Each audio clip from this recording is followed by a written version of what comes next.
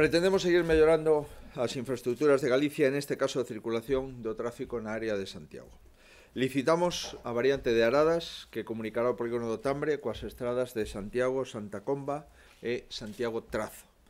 Deste xeito, os vehículos, as furgonetas, os camións que veñen de Porto Mouro, de Santa Comba, de Valdo Dubra, de Carballo e de Trazo poderán chegar a esta zona industrial do Tambre e as estradas do leste de Santiago sin ter que atravesar a cidade nos barrios do Vite e nos barrios de Vista Alegre.